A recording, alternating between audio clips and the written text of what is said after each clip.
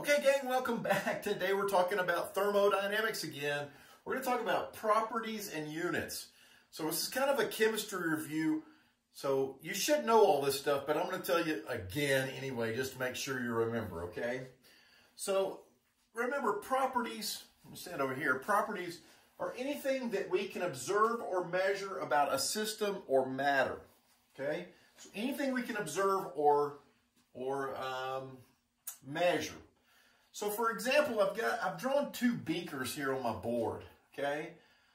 And I put some slime in it, okay? So it's just some kind of matter. We don't know what it is. It's slime, okay? It's, you know, it, it, we can make it, that way we can just make up the numbers about it. It can be super dense or super light or whatever. But anyway, so we've got one that has a, quite a big volume in it and one that's got a quite a small volume in it. So let's just talk about those. What might be we able to I don't know, what kind of properties might we be able to observe or measure about that matter in those systems? And the system is the beaker itself, right? But this, what can we observe about the matter in those beakers? Well, we can observe maybe um, its temperature.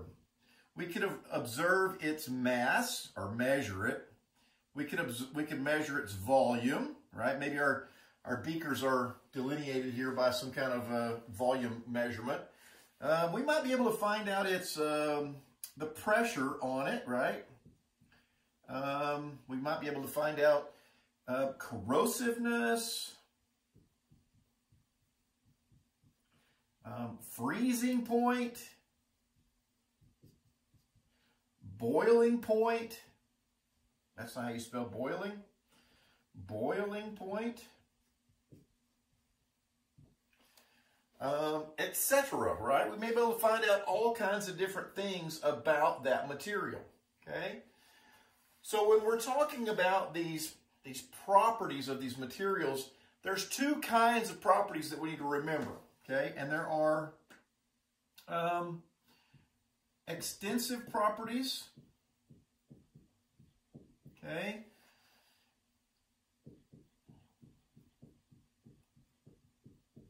There are intensive properties.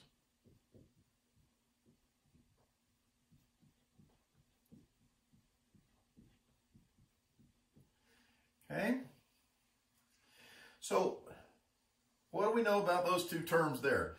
I don't remember that, so let me see. Huh, let me get my other pen. Intensive properties are independent of the amount of matter present. Okay? So it's independent of the amount of matter present. Guess what extensive is? Kind of the opposite of that. It is dependent on amount of matter present. Okay? So how do I remember that? It's super easy. Look, intensive, and independent. okay, so that ought to be easy for us to remember. So let's just think about these two beakers here, right? If I'm talking about some of these properties, and this list could be longer. There could be way more of these properties that I'm thinking about. We could have length down here, right? Let's say I have some length of a lead bar, okay? Is it this long or is it that long or is it that long, right? I don't know. Okay, so let's talk about the temperature of these two beakers, okay? They both have the same material in them. Do you think that the temperature here is the same as the temperature there? Let's say they're exposed and they're in the same laboratory, sitting on the bench. They've been sitting there all night. Guess what? Does the temperature vary just because there's more of it? No. So independent of the amount present is going to be like temperature, it doesn't, doesn't matter how much is there. It's the same. What else? Is, how about mass? Does it matter? Now, does it matter about mass? Ooh, there's way more of it, so guess what? There's going to be more mass. So that is dependent upon the size, right?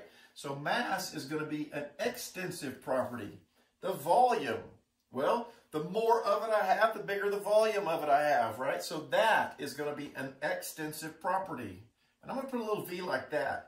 Which means that's just regular volume. And I'm going to tell you that that I'm going to I'm going to use that volume because I'm going to differentiate it from specific volume, which we'll talk about here in just a second. And then how about pressure? Well, assuming this is like, you know, exposed to the atmosphere, so this has 14.7 on it, that has 14.7 on it. It could be the same pressure. So that would be an intensive property, right? Um, corrosiveness, that's just as corrosive as that is, right? So that's that's that's independent of the size, okay? Um, freezing point, that freezes the same point that does. That's an intensive property. We'll put FP for freezing point, right? Boiling point, same thing. Length, how about length? Okay, again, think of this as a bar. I've got a bar of slime.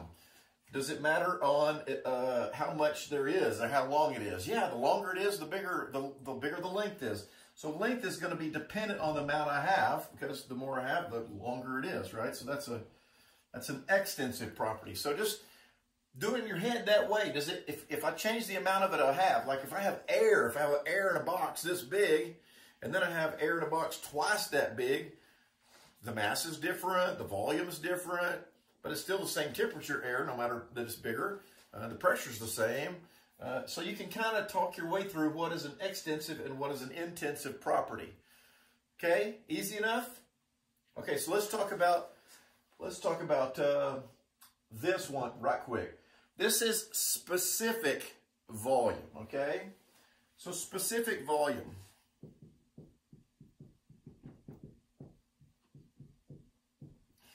Okay, so if I have this volume here, maybe it's it's got some there is some volume but if i want to get it down to like a per unit volume like how much does like one milliliter weigh? Or how much does one is how much how much volume does one kilogram occupy? So i can get it down to just a per unit basis right? By calculating the specific volume okay? So let's say that the, that our slime here uh, the volume let's say it has there's three liters in here let's just say okay so there's three liters, and the mass of those three liters of slime is four kilograms. So little v is specific volume. So this guy here, specific volume.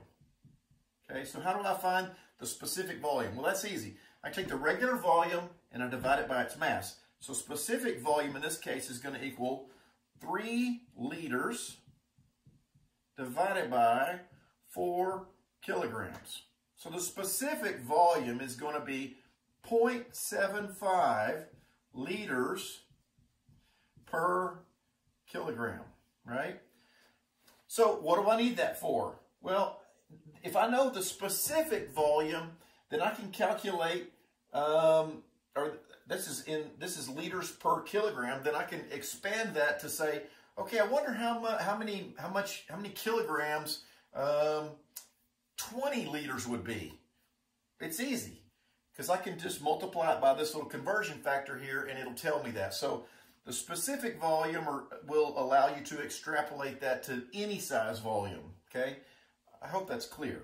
So this is something that you'll see a lot is specific volume, and we denote that with a little v, and then regular volume is with, so v with a line through it is like the whole volume.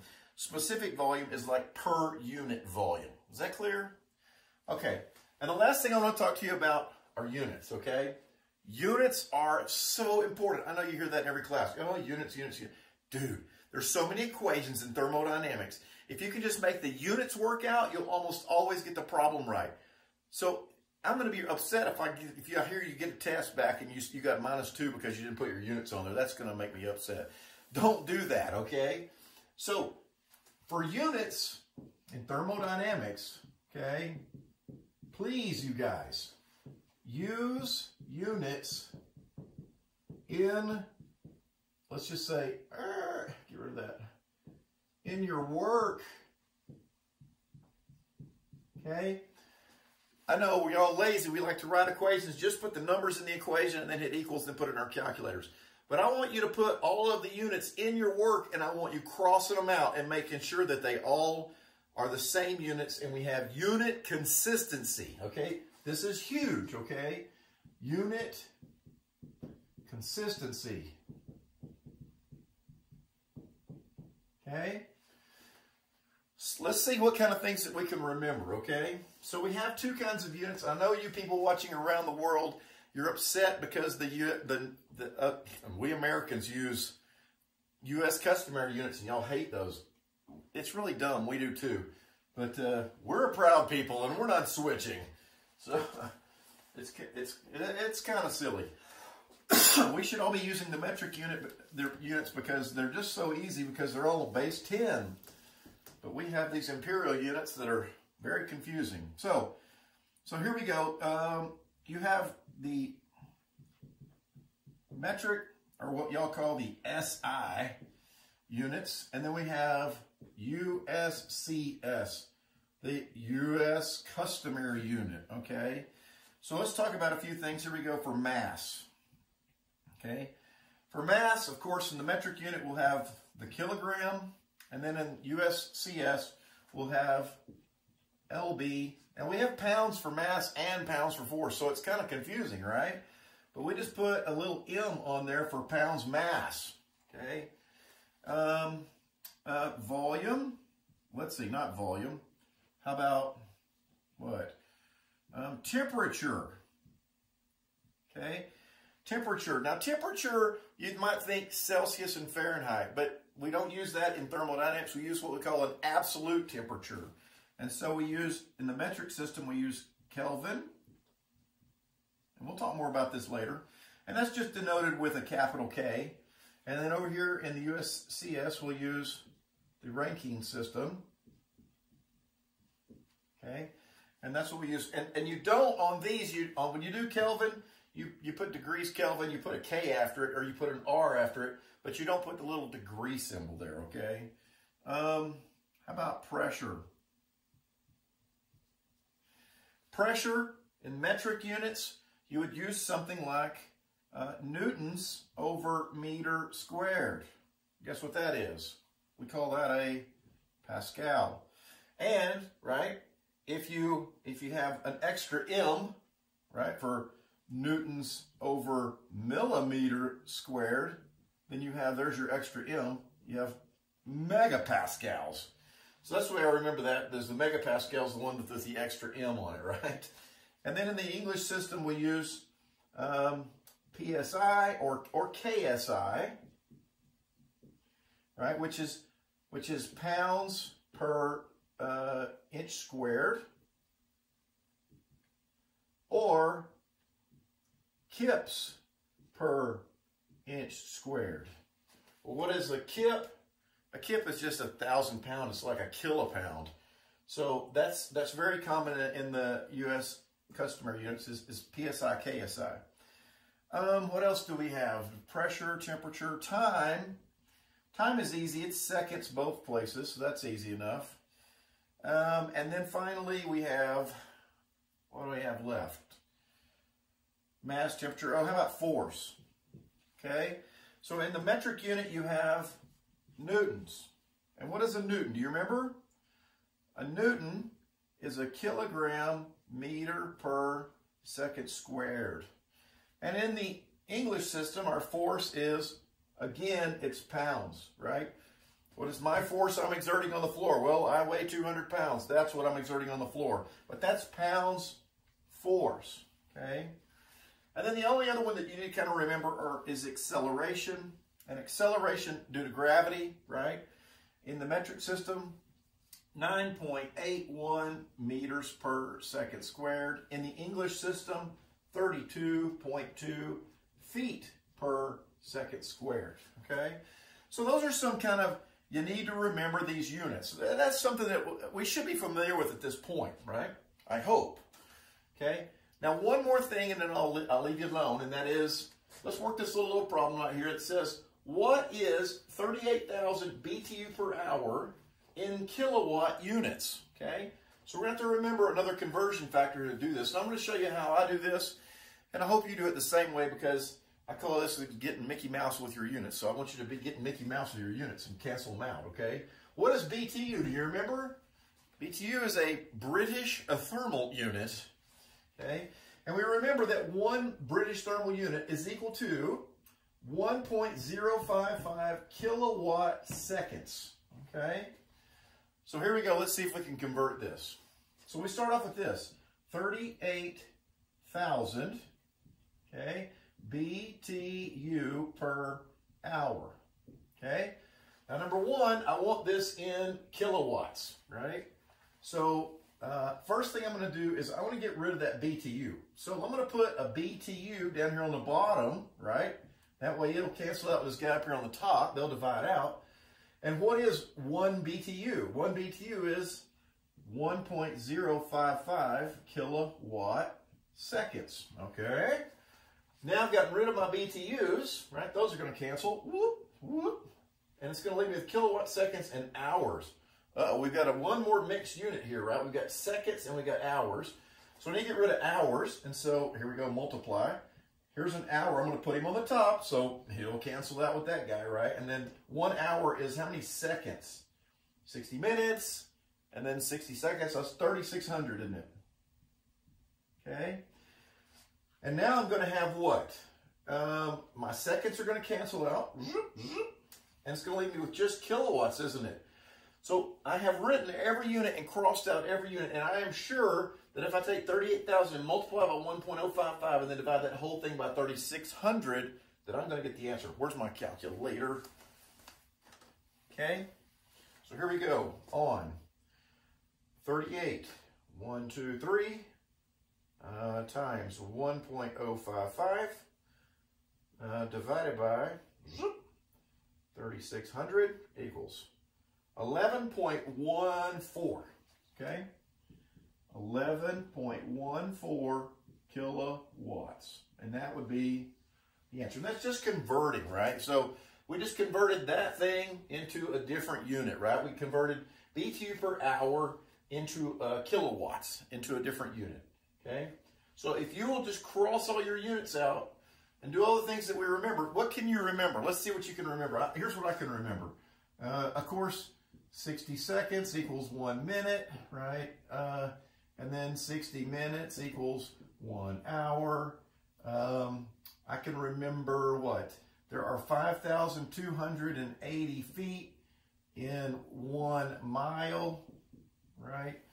Um, and the metric ones are easy, right? But the uh, if you're doing this U.S. customary things, you need to remember this, right? Um, 7.49 gallons in one cubic foot. I can remember that. Um, what about any of these things? How about like horsepower? Do you remember what one horsepower is? Is 550 foot pounds per second, right? And on and on and on. And, and hopefully you'll get some kind of conversion table if you need to in, in, your on your test. You'll get some kind of conversion table. But and then of course then there's here's one BTU is equal to 1.055 kilowatt seconds, right? So there are some of these that you'll get more familiar with as we go along here in thermodynamics, but you got to remember these conversion factors. You got to go, go down here with your units and make sure everything crosses out, and you'll almost always get the problem right. All right, come back next time. We'll talk about some more.